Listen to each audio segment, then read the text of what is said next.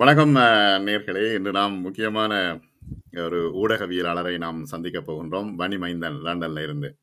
Doctor அர்ஜுனாவை உருவாக்கியது வன்னி மைந்தன் என்று ஃபேஸ்புக் தளங்கள் மற்றும் டிக்டாக் தளங்களிலே இப்பொழுது பல கருத்தாடல்கள் நடைபெற்றிருக்கின்றன. முக்கியமாக நான் நேற்று டாக்டரை இன்டர்வியூ பண்ணும் பொழுது அவர் குறிப்பிட்ட விடயம் வன்னி மைந்தன் முக்கியமாக இந்த ஒரு மாறுதலுக்கான ஒரு உருவாக்கத்துக்கு காரணமாக இருந்தவர். மற்றும் ஆஸ்திரேலியா விக்னேஸ்வரன் அவர்கள் இந்த மாறுதலுக்கு ஒரு தமிழ் மக்கள் மத்தியிலே ஒரு சமூக புரட்சியை ஏற்படுத்த வேண்டும் என்ற மாறுதலுக்கு காரணமாக இருந்தவர் என்கின்ற விடயங்களை குறிப்பிட்டிருந்தார். வனிமைந்தன் இப்பொழுது என்னோடு இருக்கின்றார். அவரோடு இந்த விடயங்கள் தொடர்பாக பேசுவோம். வணக்கம் வனிமைந்தன்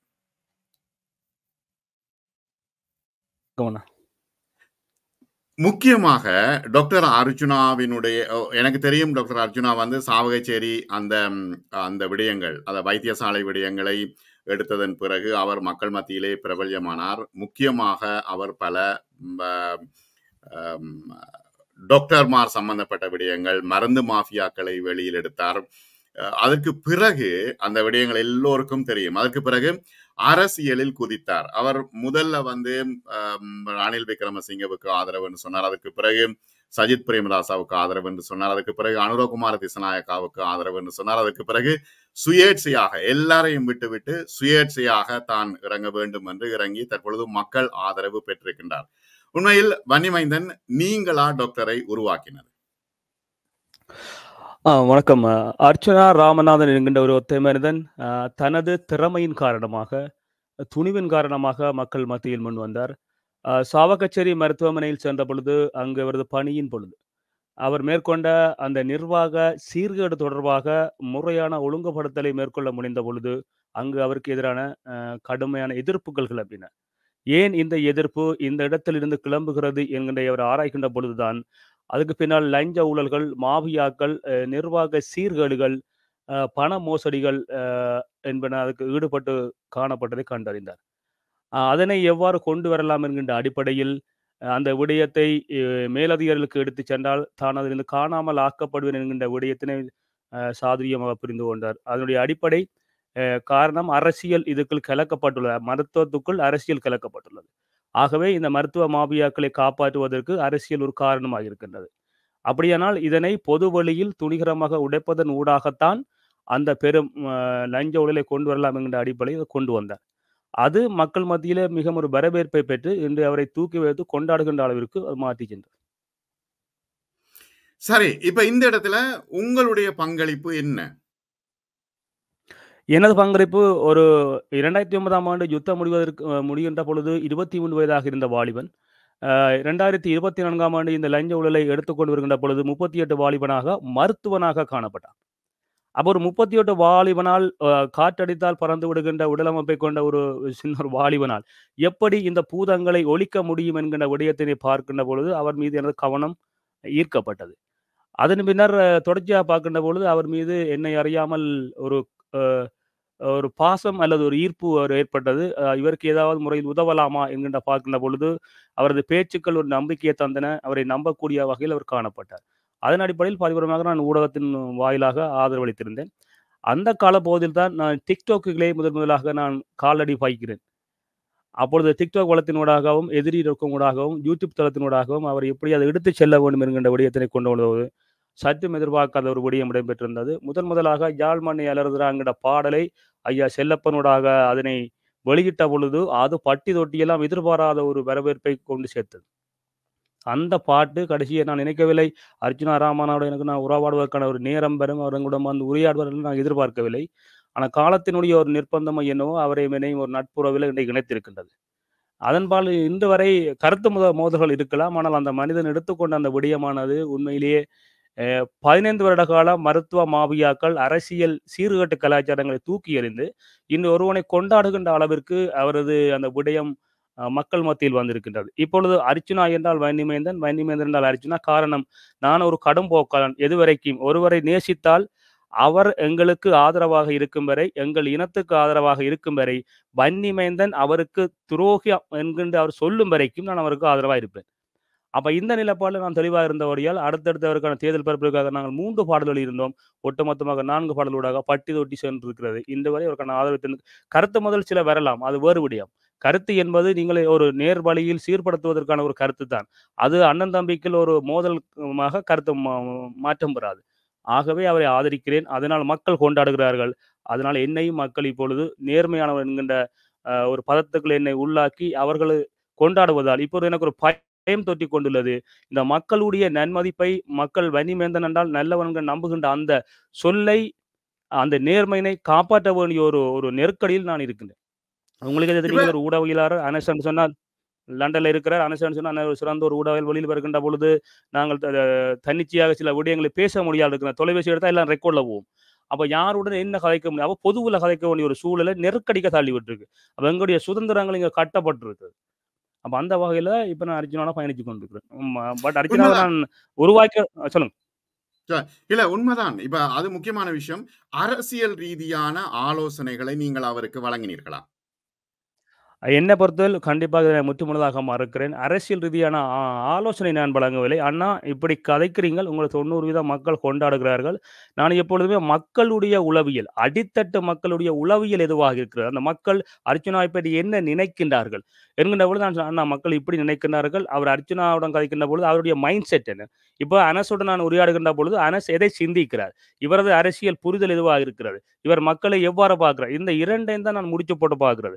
2யும் தொடர்படுத்தும்போது இடைக்குள்ள என்ன இடைவெளி இருக்கிறது? அந்த இடைவெளியை எப்படி நான் நிரப்பலாம்? என்கிற அந்த விஷயத்தை எடுத்துக்கொண்டு தான் அவனை ஒரு ஒரு ஒரு இடையில இருக்க பாலமாக மக்களுடைய மக்களுக்கும் இவருக்கும் இடையிலான ஒரு பாலமாக அணைத்திருந்தேன். ஆனால் முதல் முதலாக ஐயா அர்ஜுனா ராமநாதன் அவர்கள் டிக்டாக்லே வந்து பேசுகின்ற பொழுது, இந்த மனிதனுடன் ஒத்தை மொழி பேசிவிட முடியாதா? இவரது கைவிரல்களை தொட்டு பார்க்க முடியாதா? ஹலோ சொல்ல முடியாது இறங்கி கொண்டிருந்த மக்களுக்கு இந்த தலைமுறை வாய்ப்பை அது ஏற்படுத்தி கொடுத்தியது அதுவே இந்த இன்றைய காலப்பகுதியோட நெருக்கத்தை உருவாக்கி, அர்ச்சுனா என்றால் மக்கள், மக்கள் என்றால் அர்ச்சுனா, அர்ச்சுனா என்றால் வன்னிமேதன் என்கின்ற நிலையை அது உருவாக்கியது. இதுவரைக்கும் நான் ஒருபோதும் அரசியல் ஆலோசனை வழங்கவில்லை. அவர் வழங்கினால் அவர் அதை ஏற்றுக்கொள்கின்ற மனிதரும் அல்ல. அவர் தனது முடிவுதான் நாங்கள் இதையும் சொல்லிவிட்டு போகலாம். ஆனால் அவர் தான் சிந்தித்து முடிவெடுப்பார். ஆனால் நீங்கள் இப்படி செய்கிறது பிழையா இருக்குன்னு சொன்னா, முந்தியெல்லாம் அவர் நன்றியுள்ள மிருகத்தை பற்றி பேசுவார். உங்களை தெரியும். நீங்களே கிரீட்டத்தை நிரப்பிக் கொள்ளுங்கள். அப்ப நான் சொல்லுவேன், வாழ ஆட்டி உருண்டா மிருகம்" அப்படின்னு சொல்லுங்கன்னு அவர் மாத்தி இருந்தார் அ ஏனென்றா அந்த சிக்கலுக்குள்ள மாட்டக்கூடாது. இப்போ அர்ஜு அனஸ் வந்து சாராய் கடைக்கு உரிமையாளர்னு சொன்னால் சாராய் கடை வைத்திருக்காருன்னா உங்களுக்கு குற்றம் சுமத்தப்பட்டுள்ளது. அப்போ நான் சொன்னேன், அப்படி சொல்லக்கூடாது. அண்ணா அனஸ் என் அனஸ் என்பவர் சாராய் கடை வைத்திருப்பதாக குற்றம் சாட்டப்படுகிறது என்ற சட்டத்துக்கு நாங்கள் சிக்க மாட்டோம். அவர் இப்படி சொல்லியிருக்காரு. அதை ஏற்றுக்கொள்றாரு ஸோ அதை வந்து மக்கள் மத்தியிலையும் கொண்டு போய்க்கல. இப்போ இன்றைக்கு 19 வழக்கு இருக்குது நினைக்கிறேன் நாலு வழக்கு பிறப்பு நினைக்கிறேன் அப்போ அந்த 19 வழக்கும் ஐயா உணர்ச்சி வசப்பட்டு பன்மை பட அந்த பேசிய ஒருமையில பேசினபடியா தான் இன்றைக்கு சிக்கல் இருக்கிறது. இப்ப அரசியல்வாதியை பாருங்க. ஆம் மஹிந்த ராஜபக்ச தமிழருக்கு தீர்வினை பெற்று தரவா ஆனால் நாங்கள் பேசிக் என்னத்தை பேசிக்கொண்டிருக்கிறீங்க பேசிக் அப்ப அந்த நுட்பமான சொல்லாடல் வந்து ஐயா கையால தவறியதன் காரணம் தான், இன்றைக்கு அவரை 19 வழக்கு சூழ்ந்து உண்மை பாவம் அந்த மாதிரி மிக்சரோட தண்ணி போத்தலோட இருந்து ஏதோ போராடினார். நாங்கள் அவரை கொண்டே கரை சேர்த்து விடுவோம்.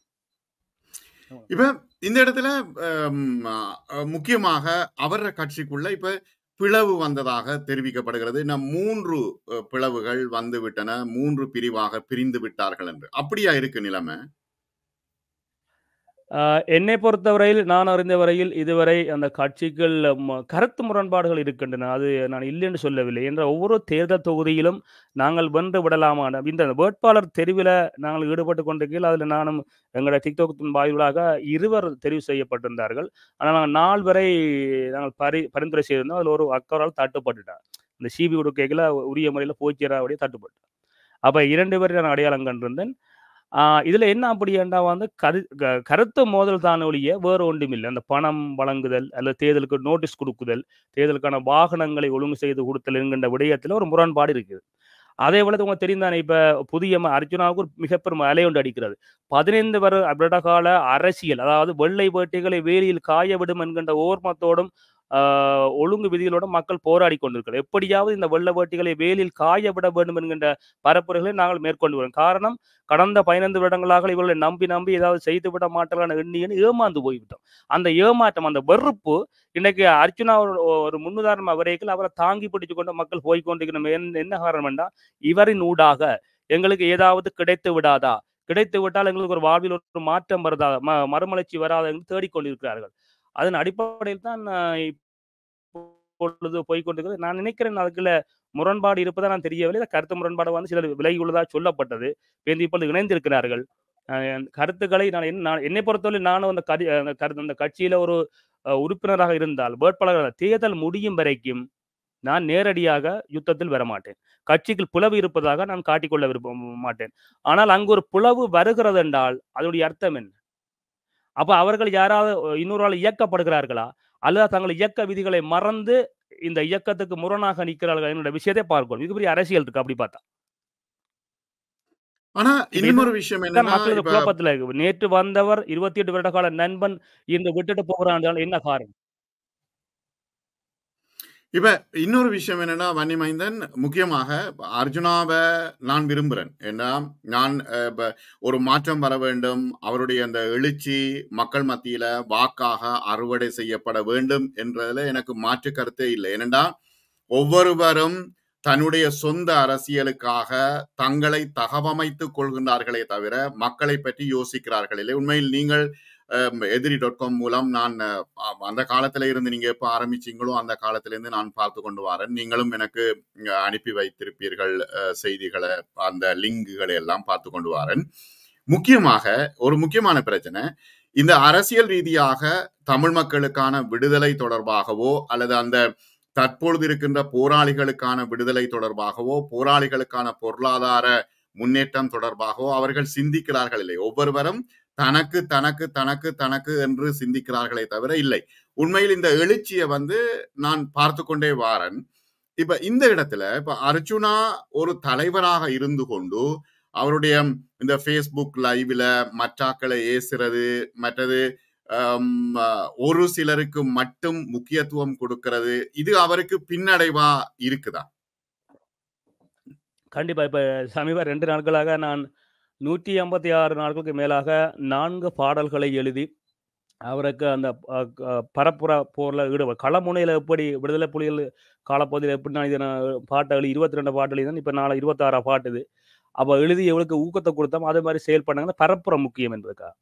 ஆனால் நேற்று முந்தினாள் வந்து அண்ணா அவர்கள் வந்து வன்னியமைந்தன் அண்ணாவும் துரோகி என்று சொல்லிட்டு போயிட்டார். இவரை நான் பார்த்தேன். அந்த TikTokல நான் பார்த்தேன் நான் அது.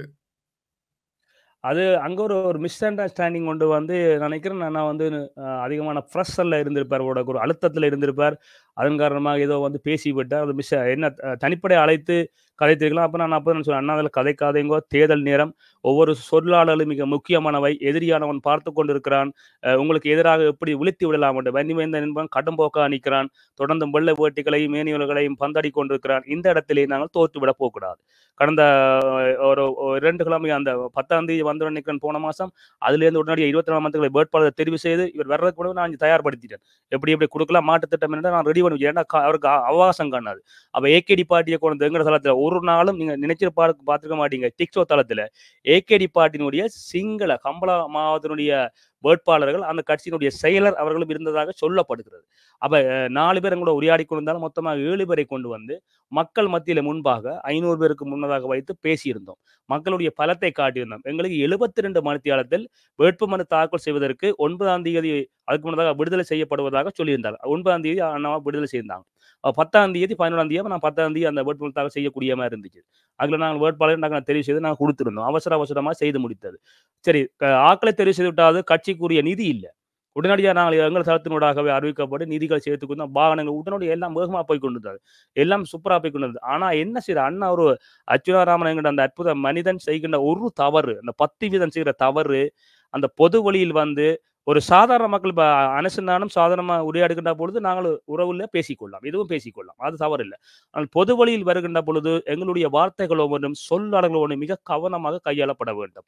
அந்த இடத்துல வந்து அவரை நாய் என்பது அல்லது சீமான் அங்கால மற்றது சா அவமான் அப்படின்னு போறதெல்லாம், அது மக்கள் மத்தியில ஒரு இவர் மீதான ஒரு நட்ப நன்மதிப்பை குறைத்து விடும் அது நெகட்டிவ் மார்க்கெட்டிங்கா அது வந்துவிடுது. அப்ப அந்த அந்த தொடர்ந்து அவரு வெளிப்படையாக பேசுவார் எல்லாத்தையும் பேசி விடுறார்.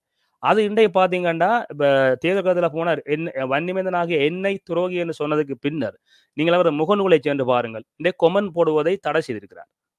நீங்கள். சொல்லுங்கள், இத் இதுவரை காலமும் அர்ச்சுனா ராமநாதனை பார்வையிட்டு வந்த உங்களுக்கு, அவரது முகநூலிலே ஏகப்பட்ட கொமெண்ட், லைக் வந்திருக்கும். ஆனா வன்னிமேதனாகிய இந்த மனிதன் இந்த தளத்தினை, அதில் வந்த மக்களை பன்னிமேதனாக என்னை தாக்கியிருந்தால் எனக்கு கவ இன்று கோபம் இல்லை. ஆனால் மக்களை அவமதித்ததன் காரணமாக இன்று கொமன் கூட அங்கே முடக்கப்பட்டிருக்கிறது. இன்னை பாருங்கள் ரெண்டு நாளாக சோர்ந்து போயிருக்கிறேன். அப்போ இன்று எனது டிக்டாக் லைவிலே நான் வேறொரு விடயத்தை நான் நகர்த்தப் போகிறேன். ஏனென்றால், அவர் எங்களோட பயணித்தவர். நான் இப்போ சொல்லிவிடுகிறேன். எங்களோட பயணித்தவர். அவரை இப்படி இடையில் விட்டு விட்டு போவது அநாகரிகமான ஒரு செயல். அதுக்காக நான் வேறு வடிவங்களை மாற்றி இன்று அவரை நான் அழைத்துச் செல்வதற்கு நான் தயாராகிக் கொண்டிருக்கிறேன். ஏனென்றால் வந்தவரை விட முடியாது. நான் பார்க்குறேன் ரெண்டு ரெண்டு நாள் சரியா சோர்ந்து போயிருக்கிறேன். அப்போ ஏன் இந்த சோர்வு இந்த மனிதனுக்கு வந்தது?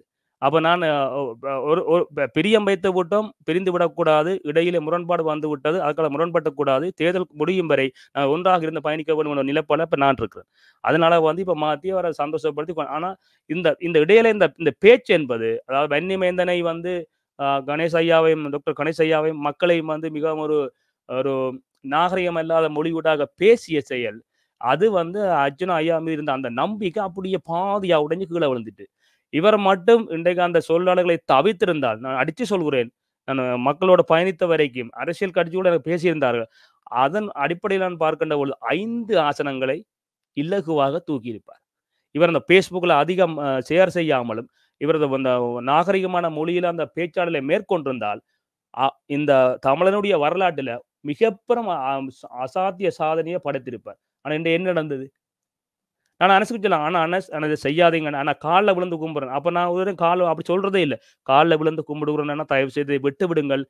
நாளை உங்களுக்கு இது எதிராக வந்துவிடும். நாங்கள் தோற்று விடுவோம். எதிரியானவன் விழித்து விடுவான். ஆனால் அண்ணா செய்த ஒரு தவறு இதா இருக்கிறது. தொடர்ந்து அவர் என்னை வேண்டி மேந்தன் என்கிறார், வண்டி மேந்தன் என்கிறார். அது பரவாயில்லை. ஆனால் என்னை பொறுத்தவரை நான் அவரை நேசித்து விட்டேன். ஒருதலை காதல். ஆகவே இந்த ஒருதலை காதல் வெற்றி பெற வேண்டுமாக இருந்தால் 14ஆம் தேதி வரைக்கும் நாங்கள் ஓடி அவரை கரையேற்ற வேண்டும் தான் வேணும். ஆனால் விட்ட அந்த வார்த்தைகள் அது தவறானதை தயவு செய்து இப்போ நான் சொல்லிக்கிறேன். அர்ச்சனா ராமநாதன் ஐயா அவர்களே, நான் ஐயா தான் கூப்பிடுறேன். ஐயா அவர்களே, நீங்கள் ஒரு நல்ல ஒரு மனிதர். எனக்கு ஒரு பிடித்தமான ஒரு மனிதர். மக்கள் இன்று வரை உங்களை நேசிக்கிறார்கள். நான் நான் உங்களை மன்னித்து விடுகிறேன். நீங்கள் தவறாக உணர்ச்சி வசப்பட்டு சொல்லி அதனால் நான் மன்னிக்கிறேன் உங்களை. மன்னித்து விடுகிறேன். தவறுகளை திருத்துவோம். தடங்களை வழிமாற்றி, தவறுகளை திருத்திக் கொண்டு புதிய பாதை நோக்கி ஓடுவோம். ஒரு புரட்சி பயணத்தை முன்வைப்போம். தொடர்ந்தும் நான் உங்களோடு இருப்போம். ஆனால் திரும்பவும், மீளவும் வென்றதின் பிற்பாடு அல்லது உங்களோட கட்சியில் உள்ள ஒருவரை மீளவும் அவர்களை அவதூறு செய்து அல்லது அவர்களை அந்த கட்சியிலிருந்து விரட்டுகின்ற நாங்கள் ஈடுபட்டிருந்தால் நாங்கள் விலகி விடுவோம். ஆனால் மக்கள் மத்தியிலிருந்து நீங்கள் அந்நியப்பட்டு நாளை கோத்தாபாய ராஜபக்ச போல காணாமல் ஆன ஒருவராக நீங்கள் நடமாடக்கூட முடியாத ஒருவராக சிறைப்பட்டு விடுவீர்கள். தயவு செய்து இதனை கருத்தில் கொண்டு பயணியுங்கள். இதைத்தான் நான் சொல்லலாம்ல. இதான் நீங்கள் ஊடகத்தில காலமா 20 வருஷத்துக்கு மேலா இருக்கிறீங்க. நீங்க சொல்லுங்க. ஐயா செய்யறது அல்ல நாங்க சொல்ற கருத்து சரியா போலியா? அப்ப இந்த உண்மைதான். கருத்தை இல்ல எனக்கும் அதான் கவலை. உண்மையா வன்னி மைந்தன் எனக்கும் அதான் கவலை. என்னன்னா, அழகான வாக்கு அறுவடை செய்யக்கூடிய நல்ல ஒரு சூழல் வரைக்குள்ள திடீரென்று இவர் எல்லாத்தையும் போட்டு உடைச்சிடுறாரு அந்த கவலை எனக்கும் இருக்குது. விளங்குதா? அதான் வெண்டைக்கு பார்த்து சொன்னீங்க என்னன்னா, அதாவது முள்ளிவாய்க்கால்ல உங்களுக்கு தெரியும் நான் இப்ப கலகம் வச்சிருந்த கால பகுதியாவது அந்த பகுதியில என்ற ரெண்டு தொலைபேசிகளும் விட்டை விடாது அலறி கொண்டிருந்தேன் கொண்டிருந்தன. அதுபோல துரோகம் கொண்டு ஐயா வந்து முந்தின நாள் எங்களை பேசிட்டு போனதிலிருந்து, அந்த நிகழ்ச்சியை நான் 12 மணி லண்டன் டைம் இரவு 12க்கு முடித்திருந்தேன். அந்த நிமிடத்திலிருந்து அடுத்த நாள் மறுகாலை இந்த நிகழ்வு தொடங்கும் வரை ஏறத்தாழ 210 கோல்கள் எனது வாட்ஸ்அப் வைவர் நேரடி இரு தொலைபேசிக்கு வந்திருந்தன. அப்போ பேசிய மக்கள் இல்லாமல் என்னை வனிமேந்த நீங்கள் கவலைப்படாதீங்கோ, ஆ அழாதீங்கோன்ட்டு போனோனே குரல் பதிவு கூட நான் அனுப்பி விடுறேன். அப்போ அந்த மக்களுடைய குரலில் பதிவு செய்து போன எடுக்க அழுது அழுது கவனமாக இருங்கன்னு சொல்லி இன்னைக்கு கூட பாருங்கள் ஒரு போஸ்ட் ஒன்று போட்டுக்கிறேன் கொஞ்சம் கஷ்டமாக இருந்தது அந்த ப கூட ஏன் இப்படி நான் பதிவு செய்யணும்? ஒரு கஷ்டமாக தான் இருந்துச்சு இருந்தாலும் ஒருவரை நல்வழிப்படுத்த வேண்டுமாக இருந்தால், மக்கள் உங்களை பற்றி என்ன யோ நினைக்கிறார்கள் என்பதை நாங்கள் எடுத்துக்கொண்டுவோம். அதனால எங்களோட டிக்டாக் வந்தோன்னா சொன்ன மாட்டீங்க கார இவருக்கு தெரியும் ஐயா. காரநகர், முல்லைத்தீவு, புளியங்குளம், தர்மபுரம், மாங்குளம், கிளிநொச்சி இப்படி எல்லா பகுதியும் மக்கள் கேட்டுட்டு இருக்காங்க. அப்போ மக்கள் என்னென்னா வன்னிமைந்தன் நார் வன் இப்போ நல்லது செய்கிறாரா? வன்னி மைந்தன் இடைவிடாது ஐயா செய்கிற தவறுகளை மறைத்து, நாங்கள் அவர் செய்வது எல்லாம் சரியென்று அவர் நிகழ்ச்சி தொடங்குமுன்ன 3 பாடல்களை நாங்கள் எழுதிய மூன்று பாடல்களை ஒளிபரப்பாகி, அது செல்லப்பா ஐயாவுடைய மகன் இளங்கோ செல்லப்பா இசையமைப்பில், அவருடைய மகன் பாவேந்தனும், அதை தேர்ச்சி செல்லப்பாவும் பாவேந்தனும் பாடி அந்த பாடல்களை பாடித்தான் நாங்கள் ஆரம்பிக்கிறோம். இது ஒரு கொள்கை கோட்பாட நாங்கள் செய்துடுவோம். ஒருத்தருமே அப்படி செய்து செய்திருக்க மாட்டாங்க. இன்றைக்கு நேற்று கூட பார்த்தீங்கன்னா, கிட்டத்தட்ட 820 மக்கள் நின்றாங்க மிகப்பெரும் ஒரு சாதனை ஒரு TikTokல. அப்போ அத்தனை மக்களும் கேட்டுக்கொண்டு நேரம் செலவழிக்கிறாங்கன்னு சொன்னால் அப்போ அர்ச்சனா ஐயாமல இல்லை ஒரு பாசம். ஆனால் இன்றைய ஃபேஸ்புக்கை பாருங்க. உண்மதான். இப்ப மக்கள் நாங்கள் சொற்கள் வந்து கற்களாக மாறக்கூடாது. ஐயானுடைய சொற்கள் கற்களாக மாறியதால், கனிவாக இருந்த மனங்கள் என்னன்னா, அந்த ஆரம்ப நேரத்தில இருந்தே ஒரு கேலியும், கிண்டலும் அப்படியான விஷயங்கள், மற்றாக்களை ஏசுறது, மற்றது கௌசல்யாவ முன்னிலைப்படுத்துறது என்ற என்ற விஷயங்கள மட்டுமே அவர் ஃபோக்கஸ் பண்ணி கொண்டிருக்கிறார். சொல்வழி கேட்கிறார் இல்ல. அதனால தான் இவ்வளவு பெரிய பிரச்சனை என்று நான் நினைக்கிறேன் இல்லையா? என்ன பொறுத்தவரையில இப்பவும் சொல்கிறேன். கடவுள் அ ஆணை மேல் சத்தியமா சத்தியம் செய்து சொல்கிறேன். இந்த மனிதன் நல்ல ஒரு மனிதன். ஒரு நேர்மையான ம். மனிதன், துணிவான மனிதன், வீரமான மனிதன். ஆனால் எனக்கு கூட இப்பொழுது கூட கண் கலங்குறது என்னென்றா, இந்த தங்கம் என்கின்ற இந்த தங்க நகை, அந்த தையல் வந்ததன் பிற்பாடு, அங்கே மாற்றம் காணப்படுது. ஒன்றை மட்டும் நான் வெளிப்படையாக நான் உடைத்து பேசி விடுகிறேன்.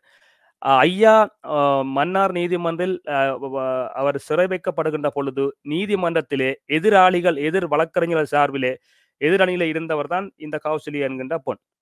ஆனால். அவ்வாறு இருந்தவர் திடீரென எவ்வாறு இவருக்கு நட்பாக மாறினார்? நட்பாக மாறி இவர் அந்த கௌசல்யாவுக்கும் அவரது காதலனுக்கும் இடையில் இருந்த அந்த உறவானது இன்று இவரது இவர் அதுக்கு சிக்க வைக்கப்பட்டு, இவரது குரல்கள் அதுக்கு பதிவு செய்யப்பட்டு, இவர் அதுக்கு வலிந்து தாக்குதலை மேற்கொண்டு சீற்றத்தை ஏற்படுத்தி, அதனூடாக கோபத்தை ஏற்படுத்தி, அந்த கடும் சொற்களை வாங்கி அது இன்றைக்கு விற்கப்படுகின்றன. அப்ப இதன் புலனாய்வு அரசியல நாங்கள் பார்க்கின்ற பொழுது, இது ஒரு திட்டமிடப்பட்ட அரசியல் கபலிகர கபளிகர சூழ்ச்சி நாடகம். இந்த வழக்கில் தெரிந்தோ தெரியாமலோ அர்ச்சுனா ராமநாதன் சிக்கிவிட்டார். அதிலிருந்து மீண்டு வர முடியாத ஒரு நெருக்கடி, அழுத்தம் அவருக்கு காணப்படுகிறது. அப்ப இந்த அழுத்தத்தை எப்படி உடைக்கிறோம்? இது இலகுவான விடயம். நாங்கள் 18 வருடங்கள்ல காணாமல் போன ஒரு விடயம். இது எல்லாம் சாதாரண விடயம். ஆனால் அதை உடைத்து பரப்புரை ரீதியாக இவரை நாங்கள் மேலே கொண்டு வருகின்ற பொழுது, அதை சமப்படுத்தி, அதை இல்லாத அழித்து வருகின்ற பொழுது, மீளவும் தனது வாயால் இவர் என்ன செய்கின்றார்? மீளவும் அநாகரிகமான சொற்களை பயன்படுத்தும் இப்போ இப்பொழுது என்ன செய்யலாம்? இப்ப அனசன்னா ஒரு தவறு செய்து விட்டார். உண்மையில் ஒரு பாதகமான விடயம். அதை பரப்புரை ரீதியாக, தர்க்க ரீதியாக அதை எடுத்து சென்று, தனிநபர் வாழ்க்கை தொடர்பாக நாங்கள் பேச வரவில்லை. நாங்கள் பொது விடயம் பேசிக் கொண்டிருக்கிறோம். தசரனுக்கு 60,000 பொண்டாட்டிகள் என்று சொன்னால், இர ஒரு மணி நேரத்துக்கு இர 2,000 பேர். அப்படி நீங்கள் அந்த கதை உண்மையாக இருந்தால், இலங்கையுடைய மகா வம்சத்திலே சிங்கம் ஒரு பெண்ணும் புணர்ந்துதான் ஒரு சிங்கள வம்சம் வந்ததை நீங்க நம்புவதாக இருந்தால், அந்த புனைக்கதை நீங்க நம்புவீர்களா என்றால், அப்ப இதை விட்டுட்டு கடந்து விடுங்கள். தனிநபர் வாழ்க்கையை பொது வாழ்க்கை இணைத்து விடாதீர்கள். தனிம பொது வாழ்க்கையில் அவர் தவறு செய்திருந்தால், அதை சொல்லுங்கள், அதை பேசுங்கள். அர்ச்சுனா ராமநாதன் கூட இருந்தால் ஆமாம் ஏற்று விடுகிறோம். அர்ச்சுனா ராமநாதன் கூடாதவர் தான். ஆனால் அவருக்கு எதிரான மாற்று அரசியல் உங்களிடத்தில் இருக்கிறதா? அப்படி இருக்கிறதா? இருந்தால் அதை சொல்லுங்கள். நாங்கள் யார் நீங்கள் கைகாட்டுகின்ற நபர் பின்னால் நாங்கள் வந்து விடுகிறோம் என்கிறோம். ஆனால் இதுவரைக்கும் எந்த ஒரு வெள்ளவட்டியும் சரி, அர்ச்சுனா ராமநாதனுக்கு எதிராக குற்ற பத்திரிகைகளை முன்வைக்கிறவர்கள் சரி, எவராலும் ஒரு புதிய அரசியலை காட்ட முடியவில்லை. ஏன்? அனைவரும் லஞ்சம், ஊழல், பெருச்சாளி, மோசடிகளாக இருக்கிறார்கள். ஒரே ஒருவன் மட்டும் தான் தூய்மையாக இருக்கிறான். ஏன்? அவன்தான் இப்பொழுது அரசியலுக்கு வந்து கொண்டிருக்கிறான். அந்த வீரமகன் தான் அர்ச்சுனா ராமநாதன். அதனால் தான் நான் இன்றுவரை ஏற்றுக்கொண்டிருக்கிறோம். நான் மீளவும் சொல்கிறேன், அர்ச்சுனா ராமநாதன் ஐயா, நான் உங்களை மன்னித்து விடுகிறேன். அதை நான் மறந்தே விடுகிறேன். இன்றிலிருந்து தேர்தல் முடியும் மட்டும் நான் உங்களுக்காக நான் பரப்புரை செய்து கொள்கிறேன். தயவு செய்து மீளவும் எங்களோட எங்களது வ டிக்டாக் லைவினூடாக, எதிரினத்தினூடாக வந்த அந்த உடுப்பிடித்ததுடைய வெற்றி வேட்பாளர் பேராசிரியர் பத்மலோகினி நவரத்னம் அவர்களுக்கு 5ஆம் இலக்கத்திலே ஓட்டை போடவும், அதே மாரி பருத்தித்துறையிலே ஸ்ரீகிருஷ்ணா பிரகாஷ் அவர்கள் ஏழாம் இலக்கத்திலே போட்டியிடுவதற்கும் நீங்கள் தடையாக இருக்காதீர்கள். ஏனைய கட்சி உறுப்பினர்களையும் அமைதியாக அழைத்துச் சென்று அமைதி காத்துக் கொள்ளுங்கள். உங்களுக்கு நாங்கள் கோலை எடுத்து தருகிறோம். பந்தை நீங்கள் உள்ளே போட வேண்டுமா? வெளியிலே அடிபட நீங்களே முடிவு செய்து கொள்ளுங்கள். நாங்கள் பந்தை அழிச்சு எடுத்துக்கொண்டே காலுக்கு விட, ஐயா என்ன செய்கிறார் அத வெளியில தான் போட்டுக்கொண்டு கொண்டிருக்கிறார். எத்தனையோ கோல் அடிச்சு கொடுத்துட்டோம் எல்லா அவருக்கான ஒவ்வொரு தொய்வு நிலை நிலையிலும் வன்னியமேந்தனாகிய நாங்கள், எங்களுடைய மக்கள் மிக தெளிவாக இருந்து, தர்க்கத்தை புரிந்து, எல்லாரும் அடிச்சு உடைச்சு உள்ள கொண்டு விட்டா, அதை தோற்கடிக்கிறது யார்? அப்ப என்ன செய்யலாம்? அப்ப எங்களுக்கு கோபம் வருமா? இல்லையா? அடுத்த இன்னொரு இன்னொரு பிரச்சனை என்னன்னா, வன்னிமைந்தன் இப்ப வெளிநாட்டுல இருந்து நிறைய காசு போகுது. அவர் இப்ப இந்த முறை ஃபேஸ்புக்ல போட்டிருந்தார். அவர சேவிங் அக்கவுண்ட் பேஜ போட்டிருந்தார். அதெல்லாம் தேவையில்லாத வேலை இல்லையா? இல்ல மக்கள் அதிகமாக பணம் சேகரிக்கப்படுவதாக சொல்லப்பட்டது. நான் சொல்லியிருந்தேன். இந்த கேள்வி நான் சிலவுடைய கேள்விகள் என்னிடம் இருக்கின்றன. அந்த கேள்விகளுக்கு கேட்கப்படுகின்ற நபர்கள் மத்தியில் பதில் இருக்காது. ஏன் பதில் இருக்காது? காரணங்கள் இருக்கின்றன. என்ன காரணம்? ஆவணங்களாகவும் ஆங்காங்கே சில விடயங்கள் இருப்பதாக சொல்லப்படுகிறது. அப்படி என்றால், நாங்கள் ஒரு விடயத்தை மேற்கொள்கின்ற பொழுது, நாளை மக்கள் சமுதாயம் அல்லது அதை தந்தவர்கள் கேள்வி கேட்டால், அவருக்கு திருப்பி பதில் வழங்குவதற்கு தயாராக இருக்க வேண்டும். அப்படி என்றால் நாங்கள் என்ன செய்ய வேண்டும்? எங்களது செயல் நகர்வுகள் ஒவ்வொன்றும் மக்களினால் பூதக்கண்ணாடி வைத்து மிக நுணுக்கமாக பார்க்கப்பட்டு கொண்டிருக்கிறது. அவர்கள் கணக்கு போடுவார்கள். நான் ஒரு ஆடம்பர ஹோட்டலிலே இருந்து இந்த இடத்துல சாப்பிடுகிறேன். இது புகைப்படத்துக்காக பிடிக்கப்பட்ட ஒரு காட்சியா? அல்லது அந்த உணவத்திலிருந்து விடுவ விடுதலை பெற்று சென்ற பின்னர் நான் சாப்பிட்ட விடயங்கள் அங்கே இருக்கிறதான்னு கேட்டால், நான் சொல்கிறேன், ஆவணங்கள் ஆங்காங்கே சிக்கி இருக்கின்றன. நாளை அவை வருகின்ற பொழுது, உங்களுக்கு மிக பெரும் நெருக்கடியை ஏற்படுத்தும். ஒவ்வொரு ஒத்தை ரூபாய் காசுகளுக்கும் பொறுப்புக்கூறலுக்கு நீங்கள் ஆளாக்கப்படுவீர்கள். நீங்கள் காண்பிக்கின்ற கணக்குகளை மக்கள் ஏற்றுக்கொள்கிறாரா இல்லையா என்பது இரண்டாவது விடயம். ஆனால் பொறுப்புக்கூறலுக்கு நீங்கள் தான் பொறுப்பாளி ஆவார். ஆகவே தேர்தல் வேளையிலே நீங்கள் உங்களுடைய நகர்வுகள், நடவடிக்கைகள் ஒவ்வொன்றும் மிக காத்திரமானவையாகவும், கண்ணியமானவையாகவும் இடம்பெற வேண்டும். நாளை தேர்தலிலே வந்துவிட்டவுடன் நான் திருப்பியும் ஐயா சொன்னேன், கோவப்பட்டதற்கு காரணம் நீங்களே சொல்லுங்கள். ஒரு அரசியல் புலனாய்வு பார்வையில தேர்தல் வருகின்ற பொழுது அரி அனஸ் ஒரு பாராளுமன்ற உறுப்பினராக தெரிவு செய்யப்பட்டால், அதற்கு முன்னர் அவர் மக்கள் ஆதரவு ஒருங்கிணைந்து ஒன்றாகத்தான் இருக்கும். ஆமாம் இருக்கும். ஆனால் அது பிளவுபடும். எப்போது பிளவுபடும்? ஏன் பிளவுபடும் என்றால், தேர்தல் வந்தது பிற்பாடு அவரது செயல் நடவடிக்கையில் மாற்றம் இருந்தால், அல்லது தொய்வு நிலை காணப்பட்டால், அல்லது தேர்தல் வா வாக்குறுதிகள் மீறப்பட்டால், செயல் முறைப்படுத்தாவிட்டால், மக்களுடைய ஆதரவு இரண்டாக உடையும். ஒன்று ஆதரவு நிலை என்றும், ஒன்று ஆதரவற்ற நிலை என்று வருகின்ற பொழுது, அந்த நேரத்தில் அரி அ அனஸ் என்கின்றவர் காணாமல் போகின்ற ஒரு விளிம்பில் காணப்படுவார். இதை சொல்கின்ற பொழுது அவர் கோவித்து விடுகின்றார். நான் என்ன செய்யலாம்? இது எனது பார்வை. இது எனது கருத்து. நீங்க சொல்லுங்கள். ஆண்டாண்டால் கடந்த இறந்த காலமாக இருந்தாலும் சரி, நிகழ்காலமா இருந்தாலும் சரி, எதிர்காலத்திலும் இது நடந்தே தீரும். இது வளமை ஒன்றுதான். ஏன் நீங்கள் கோவப்படுவான ஐயா? நிச்சயமா. அடுத்தது வந்து இப்ப அர்ஜுனா தன்னை சுற்றி ஒரு ஒரு ஆலோசனை சொல்லக்கூடியவர்கள், அறிவாளிகள் இவர்களை எல்லாம் வைத்து கொண்டு இந்த அ அரசியலை செய்ய வேண்டிய ஒரு சூழ்நிலையில், எல்லோரையும் வெட்டிவிட்டு, எல்லாரையும் வந்து வேண்டாம் என்று சொன்னா, எப்படி தனிச்சு ஓடுறது வன்னிமைந்தன்? பாலசிங்கம் அத தேசத்தின் குரல் அண்ணன் அண்ணன் பாலசிங்கத்துடன் ஐயா பாலசிங்கம் அவர்களுடன் இணை இருந்தவர் தான், பயணித்தவர் தான்.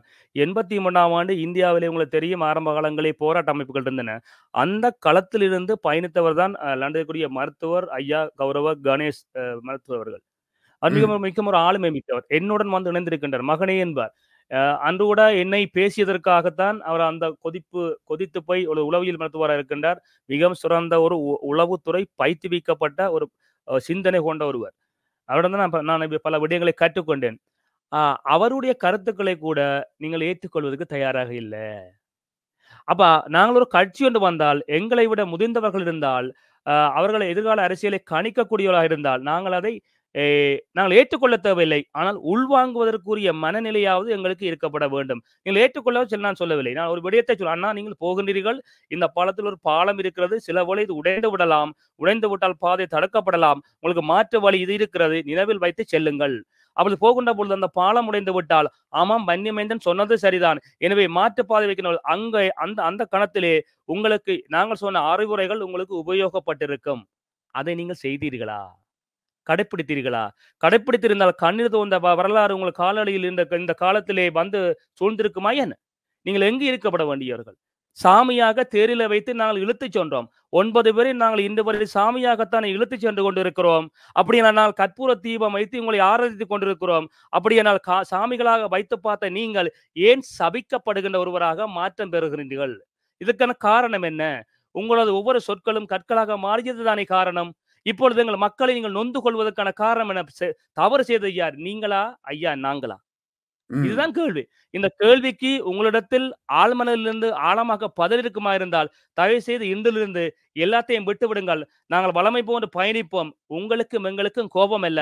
நாங்கள் பயணித்து செல் நீங்க துரோகம் செய்யவில்லை. ஆனால் நீங்கள் என்ன மனித நாகரிகமான அ பொது மேடையிலே சில சொற்களை பயன்படுத்தி விட்டீர்கள். பரவாயில்லை.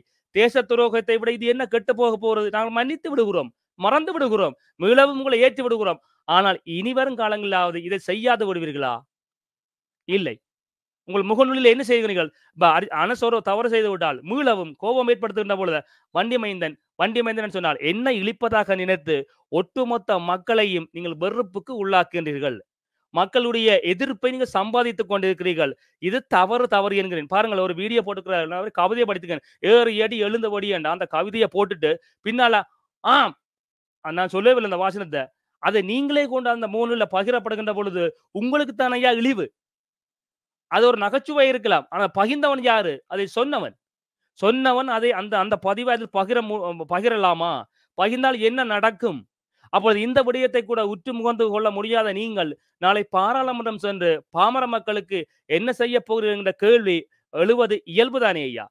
மக்கள் முக்கியமான இப்ப அதான் முக்கியமான விஷயம். ஒரு நிதானம் இல்லாத ஒரு போக்குடையவராக இவர் இருக்கிறாரோ எடுத்தது எல்லாத்தையும் சொல்லி விடுகிறாரோ மற்றது இப்படியான நிலைமைகள்ல ஒரு கொள்கை இல்லாதவராக இருக்கிறாரோ என்கின்ற பல கேள்விகள் எழுகின்றன வன்னிமைந்தன் பாராளுமன்றம் போன பிறகு இவர் அங்க போய் எப்படி பேசுவார்? மக்களுக்கான பிரச்சனைகளை சொல்லுவாரா? இப்ப அங்கேயும் போய் டிக்டாக்லயும் ஃபேஸ்புக்லயும் எடுத்து போட்டுக்கொண்டு நக்கல் அடிச்சு கொண்டிருந்தா எப்படி அது ஒரு முன்னேற்றகரமானதாக அமையும் என்ற ஒரு பெரிய கேள்வி மக்கள் மத்தியில இருக்குது விளங்குதா இன்று அந்த மக்கள் எழுப்புகின்ற கேள்வி அதுவாகத்தான் இருக்கிறது. நாளை பாராளுமன்றம் செல்கின்ற பொழுது அஹ் இவர் முன்னுக்கு பிறனாக முன்னுக்கு பின் முரணாக பேசுகின்ற ஒருவரால் எவ்வாறு தமிழ் மக்களுடைய கொள்கைகளை அஹ், முழுமையாக ஏற்றுக்கொண்டு அல்லது புரிந்து கொண்டு செயலாற்ற முடியும் என்கின்ற கேள்விகளுக்கு உண்மையில் என்னிடத்தில் பதிலில்லை காரணம்.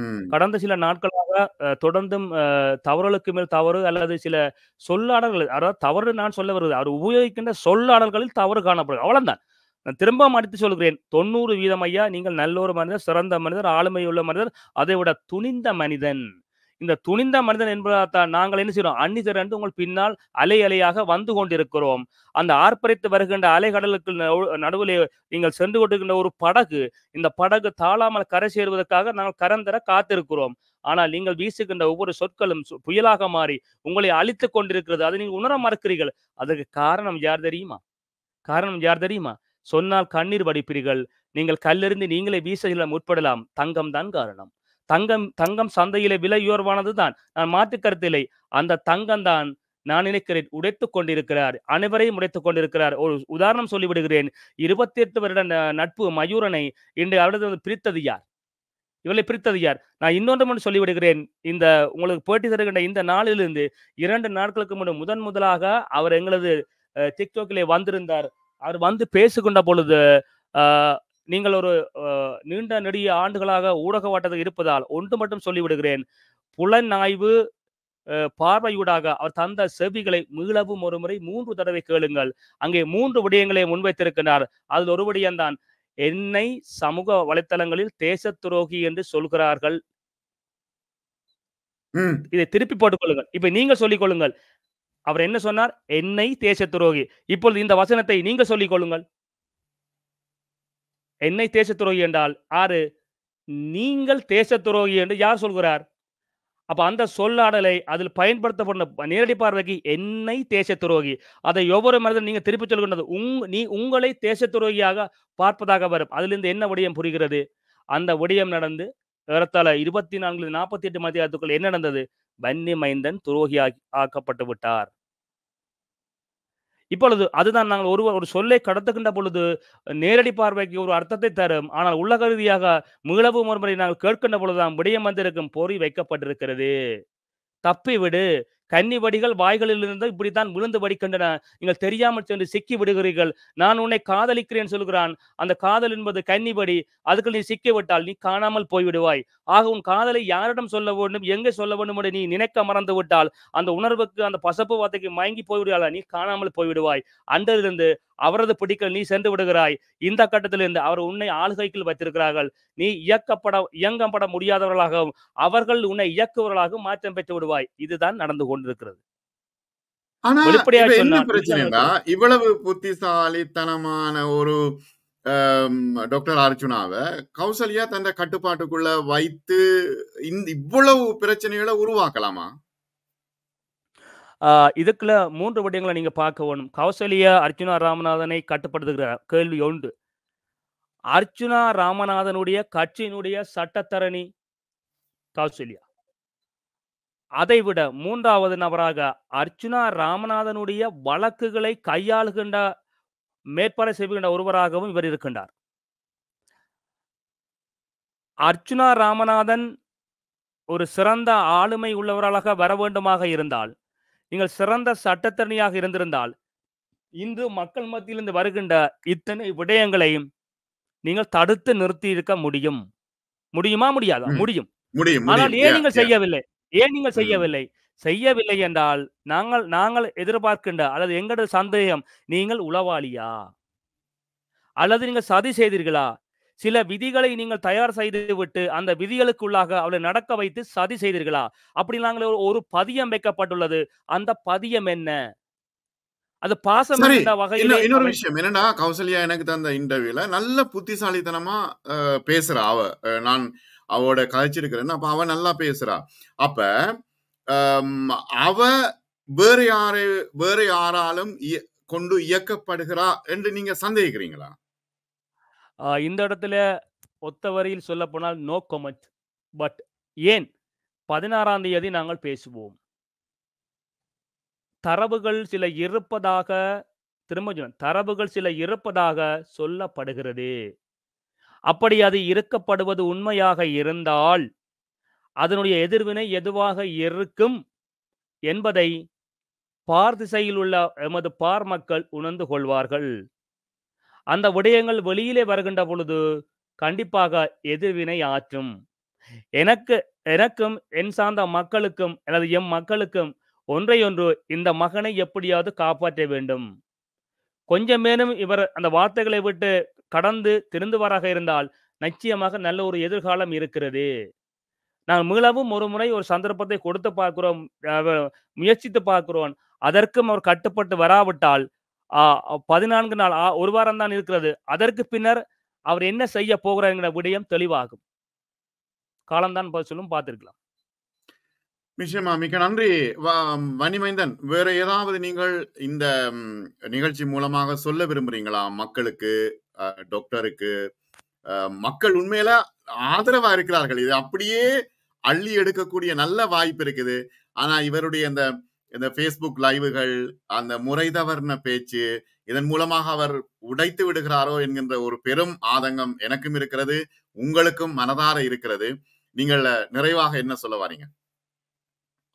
என்னை பொறுத்தவரையில் நான் மீளவும் ஒரு முறை அர்ச்சுனா ராமநாதனுடைய கால்களில் விழுந்து மன்றாடி மன்றாடி கும்பிட்டு கேட்கிறேன் தயவு செய்து ஐயா தயவு செய்து. நாங்கள் உங்களுக்கு ஆதரவாக நாங்கள் இருக்கிறோம். மீளவும் இன்றிலிருந்து வந்து டிக்டாக் உங்களுக்கு ஆதரவாக இயங்கும். மாற்று கருத்து நான் நேரடியாக சொல்லி விடுகிறேன் ஆனால் தயவு செய்து உங்கள் சமூக வலைத்தளத்தில் போட்ட அத்தனை பதிவுகளை நீக்குங்கள். கடந்த முறை. போட்டது வண்டி மேந்த வண்டி மேந்த நீங்கள் என்ன தனிப்பட்ட ரீதியில் தாக்குங்கள்? பேசுங்கள். எனக்கு பொது வழியில் அதை செய்யாதீர்கள். எதுவரைக்கும் தேர்தல் முடியும் வரைக்கும் அதை செய்யாதீர்கள். இன்னொருவருடைய கருத்துக்கு பதில் கருத்து நீங்கள் எழுத முற்படாதீர்கள். கடந்து போங்கள். வன்னிமந்தனாக. எனக்கு ஐயா டிக்டாக்ல கண்ணீர் போ சொல்லி அடிச்சிட்டான். எனக்கு அஞ்சு பொண்டாட்டி இருக்குன்னு சொல்லிட்டான். வன்னிமந்தன் காசு கொள்ளி அடிச்சிட்டேன்னா சோத்துக்கு வழி இல்லாம சொங்கியா இருக்கிறேன். நான் ஏழை ஆனா கோழையா இல்ல. அப்ப இதெல்லாம் கடந்து தானே போய்கிட்டு இருக்கிறேன். அப்ப அதுக்கு நாங்கள் நாங்கள் நெகட்டிவ் கொமெண்ட்டுக்கு கவனத்தை செலுத்தினால் நாங்கள் எங்களை இலக்கு விட்டு தவறி காணாமல் உண்மைதான். தயவு அவரை சும்மா உடனே உடனே ரியாக்ட் பண்றாரு. அதான் மிகப்பெரிய பிரச்சனை இல்லையா? அதான் அவர் அவர் என்ன அவர் இயல்பு. வெளிப்படைத்தன்மையை காண்பிப்பதா? எல்லாருக்கும் அதை செய்யக்கூடாது. அரசியல் வந்தான் வெறிவான ஐயா கல்லு. அவனுக்கு தெரியுது உங்களோட பலம். உன்னை சொல்ல நம்ப மாட்டீங்க நான் ஒன்றை சொல்லிக்கொள்றேன்.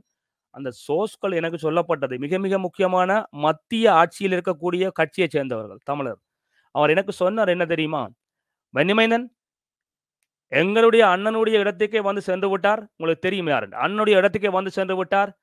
அவர் அத்தனை வாக்குகளும் இவருக்குத்தான் இருக்கிறது. ஒருக்கா சொல்லி விடடாப்பா. இந்த வாயை கொஞ்சம் வச்சுக்கொண்டு இந்த பேஸ்புக்ல போஸ்டா போடா இருக்க சொல்லு. அஞ்சு ஆசனம் இருக்கடாப்பா சொல்லு. மூன்று முறை அந்த மனிதன் அடித்து சொல்லியிருந்தார். அதை எடுத்துன்னு சொல்லியிருந்தேன். நீங்கள் கேட்கவில்லை ஐயா. வன்னிமேந்தன் என்ற மனிதன் உங்களுக்கு ஆதரவு இருக்கின்ற பொழுது அவன் மீது வந்து கல்லை எறிந்து விட்டீர்கள். இன்று பாருங்கள் என்ன நடந்திருக்கிறது நான் மீளவும் அதை நிவர்த்தி செய்து உங்களை வெல்ல வைப்பதற்கான முயற்சியில் நான் இருந்து கண்டிப்பாக என்று நினைக்கிறேன். அரை மணித்தில் பிந்தி தொடங்கும் நினைக்கிறேன். நாலரை லண்டன் டைம். நார்மலாக நாலு மணி இந்த பத்து மணி வரை தொடங்கும் நான் தொடங்குகிறேன். அதிலே வெளிப்படையாக அறிவன். தயவு செய்து ஒரு சந்தர்ப்பம் உங்களுக்கு மீளவும். மக்கள் உங்களை மன்னித்து மீளவும் ஏற்று விடுகிறார்கள் நாங்கள் மறந்தே விடுகிறோம். மக்களை நான் சொல்லி விடுகிறேன். என்னை நேசிக்கின்ற மக்கள் அதை ஏற்றி விடுவார்கள். சொல்லி விடுகிறேன். தயவு செய்து மீளவும் அதே தவறை அதே தவறை விடாதீர்கள். துரோகி துரோகின்னு எல்லாரும் கட்டாதீர்கள். இன்று வன்னி மைந்தன் நாளைக்கு அனசன் துரோகி ஏண்டா அப்ப ஆறுதாண்டா துரோகி?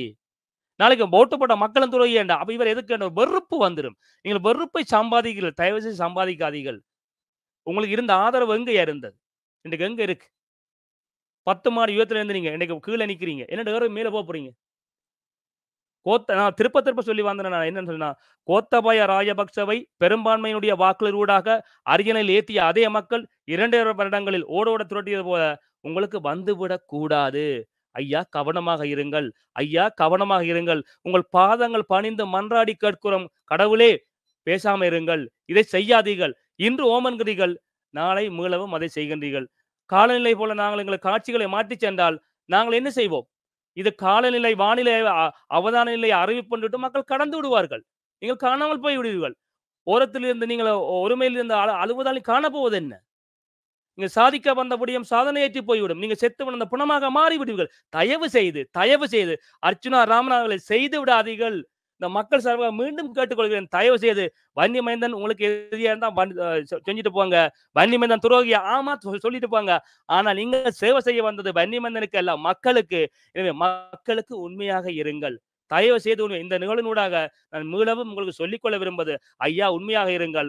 வெற்றி உங்கள் வாசல் இருக்கிறது. குறைந்தது இரண்டு ஆசனங்களாக நீங்க எடுத்து விடலாம். மறந்து விடாதீர்கள். நாங்கள் மன்னித்து மறந்து விடுகிறோம். உங்களை உங்களை மன்னிப்பதற்கு நாங்கள் யாரும் இல்லை நாங்கள் அதை அப்படி செய்தால் சமரசத்தை சமாதானத்தை ஏற்படுத்தி கடந்து விடுகிறோம். உணர்ந்து விடுங்கள் ஐயா. நன்றி வணக்கம் மிக நன்றி அஹ், உங்களுடைய அஹ், கருத்துக்களுக்கு மற்றும் உண்மையில டாக்டர் அர்ஜுனாக்கு இது ஒரு முக்கியமான ஒரு அறைகூவலாகவும் வேண்டுகோளாகவும் நீங்கள் முன்வைத்திருக்கின்றீர்கள். மக்கள் அவர் பக்கம் இருக்கிறார்கள். பொறுத்திருந்து பார்ப்போம் என்ன நடக்கிறது என்று உங்களுடைய நல்ல நோக்கங்கள் நிறைவேற வாழ்த்துக்களோடு விடை விடைபெறுகின்றேன். நன்றி வணிமைந்தன் உங்களுக்கு. நன்றி வணக்கம் நன்றி வணக்கம்.